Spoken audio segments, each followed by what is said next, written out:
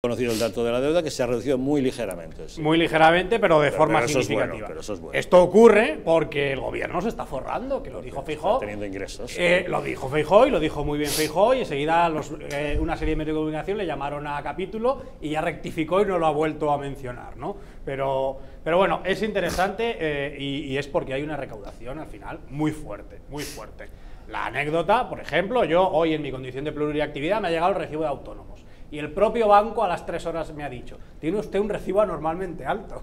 Y yo tenía ganas de decirle, no, claro que es anormalmente alto la cuota de autónomas en España, es que es, una pasada, es una pasada. Entonces al final se reduce la deuda porque eh, estamos todos pagando una cantidad de dinero verdaderamente impresionante, ¿no? Y hablando de los ricos, ¿los ricos quiénes son? Que ya no se habla y tampoco lo hablaremos.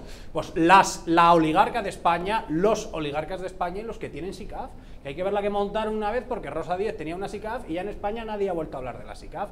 Me parece tremendamente impresionante, hasta Rafael Nadal, el héroe del pueblo, tiene una SICAF que cobra de una serie de fondos de inversión muy concretos. Bueno, pues eh, eso es lo verdaderamente relevante.